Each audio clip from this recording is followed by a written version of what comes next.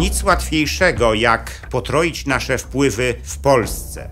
Ale my tego wcale nie potrzebujemy.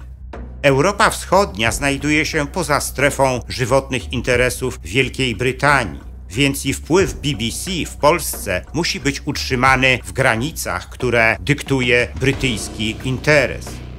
Tak szef serwisu środkowoeuropejskiego BBC Gregory MacDonald odpowiedział Janowi Jeziorańskiemu, gdy ten prosił go o zwiększenie ilości polskojęzycznych programów w brytyjskiej stacji. Słowa McDonalda dobrze pokazują, jakie znaczenie ma Polska dla Wielkiej Brytanii.